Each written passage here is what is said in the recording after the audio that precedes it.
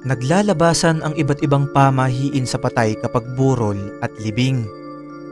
Napakadami nito dahil naipasa na ang mga paniniwalang to sa iba't ibang henerasyon.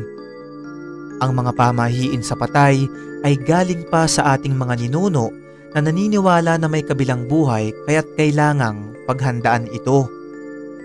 Sentro sa mga pamahiin ay ang paniniwala na dapat parangalan ang namatay sa pamamagitan ng mga ritual bago ito ilibing.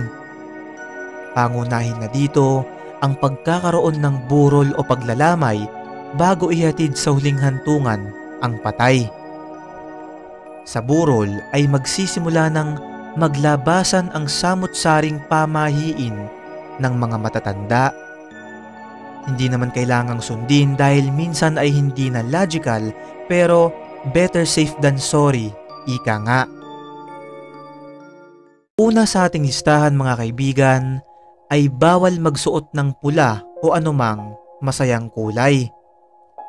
Ito ang unang-unang pamahiin sa patay na dapat tandaan para daw hindi maka-offend sa mga namatayan. Itim o puti ang dapat na isuot kung pupunta sa burol o makikipaglamay pero ang mga bata ay pwede naman daw pagsuotin ng pula sa paniniwalang para hindi nila makita ang kaluluwa ng patay. Pangalawa mga kaibigan ay huwag pagsuotin ng sapatos yung patay. Naniniwala ang mga matatanda na sa loob ng 40 days mula nung pagkamatay ay mananatili pa rin sa bahay ang kaluluwa nung namatay.